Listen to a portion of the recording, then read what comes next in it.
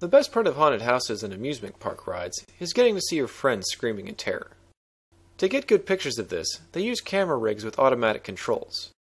In this project, I'm going to show you how to make automatic camera switches to help you capture priceless moments like these. First, you need a way to connect your camera to an external circuit. If you're fortunate enough to have a camera with a built-in shutter switch terminal, then this is really easy. All you need is a connector that matches the terminal on your camera.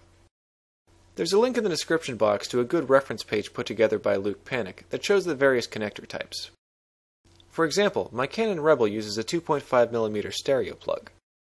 The sleeve connects to ground, the center ring activates the focus function, and the tip activates the shutter. To activate each function, you just need to connect that pin to ground. If your camera doesn't have a built-in shutter switch terminal, you may be able to add one. To do this, you need to add a few connections to your camera's shutter button. First, remove all the screws and open up the outer housing. Be careful to avoid the camera flash capacitor. It can hold a charge of several hundred volts even after the batteries have been removed. Locate the camera's shutter switch. It should have one terminal that connects to ground to activate the focus, and one terminal that connects to ground to activate the shutter. To be able to activate these functions remotely, you need to solder additional wires to each of the terminals. You should then be able to activate the shutter by connecting that wire to ground with a switch or a transistor.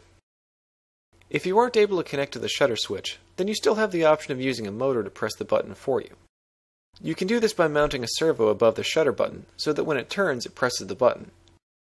There's a link in the description box to a couple of make videos that demonstrate how to do this.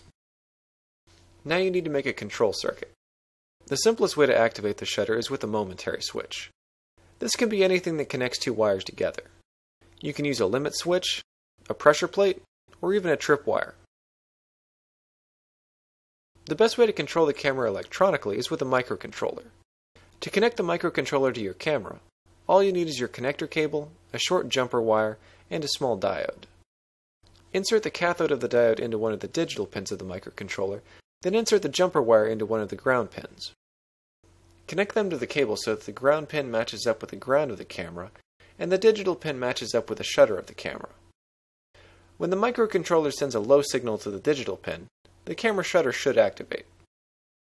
You can also activate the camera with simple ICs like a 555 timer. This works well for taking pictures at regular intervals.